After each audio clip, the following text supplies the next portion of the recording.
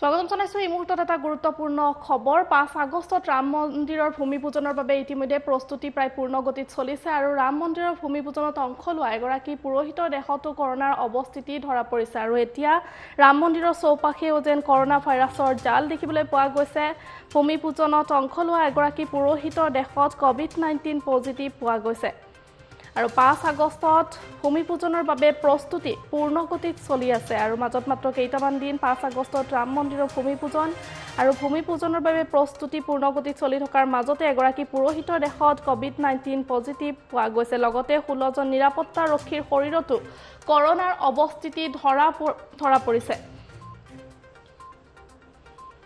আমি পুনৰবাৰ জনাইছোঁ টাইমিটৰ দৰ্শকসকলক ৰাম মন্দিৰৰ চৌপাশেও যেন এতিয়া কৰোণা ভাইৰাছৰ জাল আৰু মহাপ্ৰসাদ হিচাপে তৈয়াৰ কৰা হৈছে এক লাখ এঘাৰ হাজাৰ লাডু যিহেতু পাঁচ আগষ্টত ভূমি পূজন আৰু ভূমি পূজনৰ বাবে প্ৰস্তুতি পূৰ্ণগতিত চলিছে।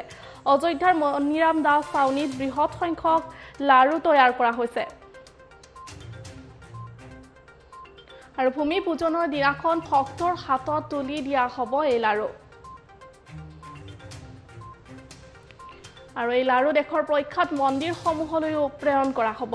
আৰু মহাপ্ৰসাদ হিচাপে তৈয়াৰ কৰা হৈছে প্ৰায় এক লাখ এঘাৰ হাজাৰ লাড়ু। আৰু উপস্থিত থাকিব প্ৰধানমন্ত্ৰী মোদীসহ পঞ্চাছগৰাকী ভি ভি আই পি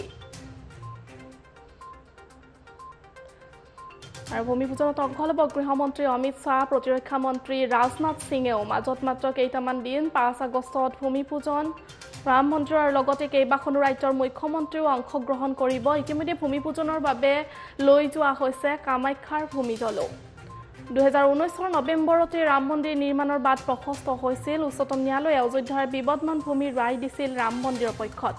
আৰু ন্যায়াধীশ ৰঞ্জন গগৈৰ নেতৃত্বৰ পাঁচজনীয়া বিচাৰপীঠে দিছিল চূড়ান্ত ৰায়দান।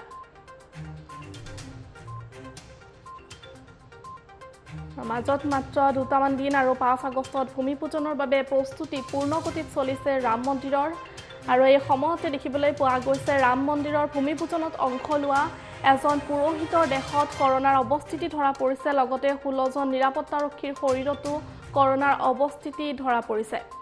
আৰু ইতিমধ্যে ৰাম মন্দিৰৰ মহাপ্ৰসাদ হিচাপে প্ৰায় এক লাখ এঘাৰ হাজাৰ লাড়ু তৈয়াৰ কৰা হৈছে। আৰু ভূমি পূজনৰ দিনাখন বিভিন্ন প্ৰান্তৰ পৰা অহা ভক্তৰ হাতত তুলি দিয়া হ'ব এই লাড়ু।